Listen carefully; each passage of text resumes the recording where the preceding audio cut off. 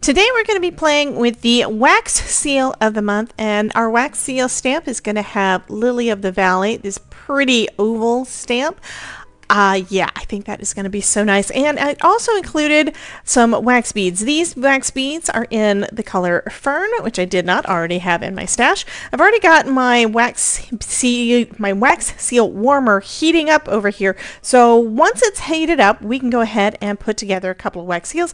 I just noticed that it was an oval. I was planning on making some using my silicone mold here. I'm not going to be able to use that for this one because it's oval and these are for round. So I'll get that out of of the way. But yeah, this is going to be fun. So if you've watched any of my wax seal videos, you know that I am loving this little wax seal warmer that I got off of Amazon.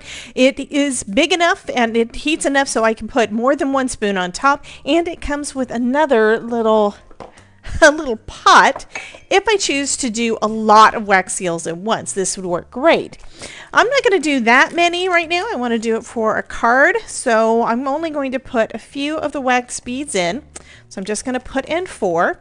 Now you can also use the tea light warmers. My experience with tea light warmers, because I live in Florida and we always have the air conditioning on, is that the tea lights were constantly getting blown out. So my wax was never getting hot enough.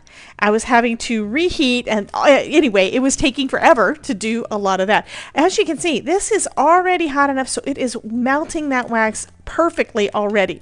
Now one of my spoons did still have some wax in it so I heated it up and I poured them out on the side so I would not have a mixture of colors and then I just used a paper towel to wipe out uh, any of that excess that was still in the spoon.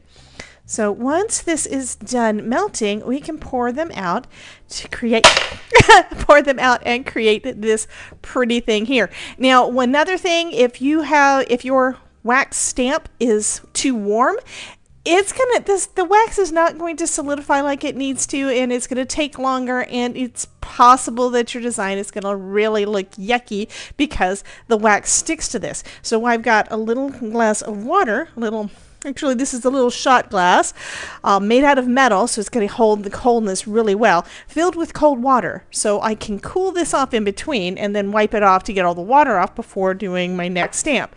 So let's go ahead. This one looks pretty good. And this time I'm just using the solid color, but you could also mix in other colors that you have in your stash.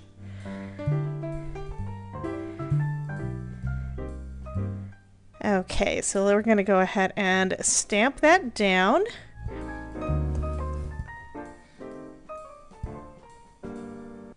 There we go. And I'm going to wipe the, the lip of this one because it did drip over a little bit.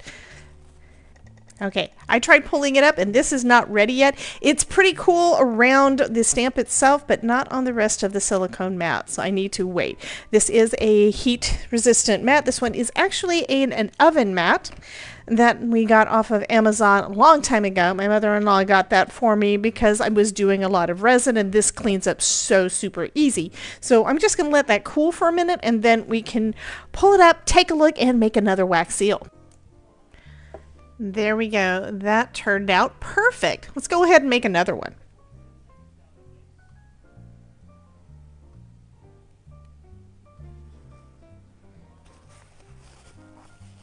Now I should have done that cooling bit first, but this should still turn out okay, I think.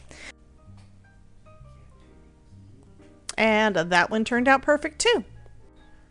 So one thing I like to do with the excess, because you always have a little bit of wax left over, I'm going to combine it into both, both spoons into one and then I'm going to use that to make some little basically some wax enamel beads enamel dots. So they're additional embellishments for my card and they are super quick and easy to do and you can do whatever size you want. You just put down as much wax as you want and they're going to automatically have that dome top. And that way you don't waste any of the wax and you don't have to wait until the next time that you're making wax seals to use it. So next I pulled out some of the panels that I made using the embossing folder of the month and decided to go with some dark colors for this.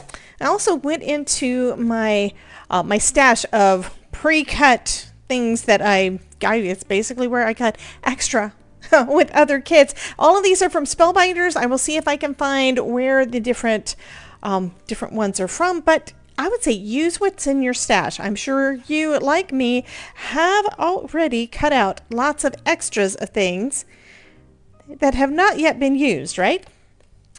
So I kind of have decided that the design I want to do, look, I think I'm probably going to just go with the two, two vines there and then our, yes, I like that, um, our wax seal and then our sweet sentiment. So I'm going to go ahead and adhere these panels down onto card bases and that way they'll be ready to go for all of the rest.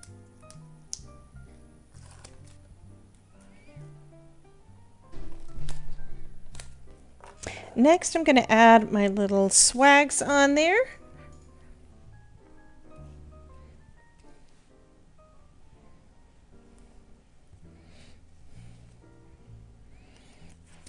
And I'll put this right about there. I'm also going to add a big bit of glue underneath it. You could use glue dots, whatever. Actually, that's what I'm going to do.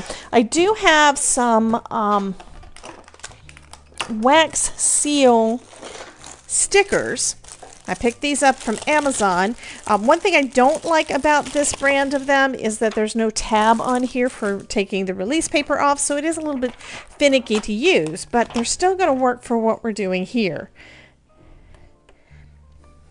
And um, Spellbinders does have some that have the have the um, tabs so it's easier to remove. Uh, but what I'm going to do for these, I'm going to just use my craft knife to cut through that release paper on the back and pick it off. These are basically just giant glue dots that are on the back and it does make it easier to use your wax seals. That way you don't have to bring out your wax seal stuff when in the middle of the card. You can just grab one of your pre-made ones and add it to your project.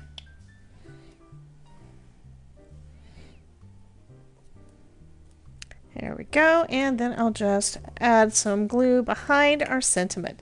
So this one says, just a note to say thanks. So there is our first card done. So it kind of looks like a Brad. And I think that's probably enough for that card.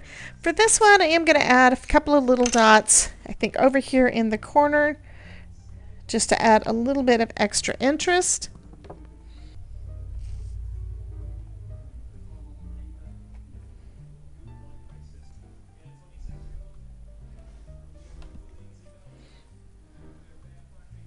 And we can do the same thing on this one. So I think these all turned out fantastic and working with wax seals is always so much fun.